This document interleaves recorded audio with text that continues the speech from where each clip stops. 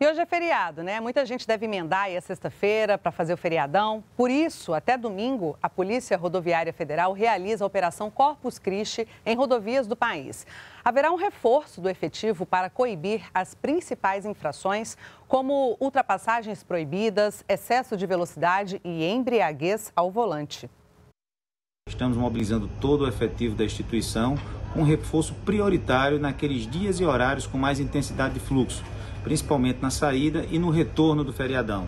A gente faz um pedido a todos os condutores que se deslocam pelas rodovias federais em todo o Brasil que tenham atenção, cuidado durante o deslocamento e programe bem sua viagem. Faça um planejamento adequado dos seus deslocamentos, já contando que o fluxo nesse período já vai estar bastante intenso.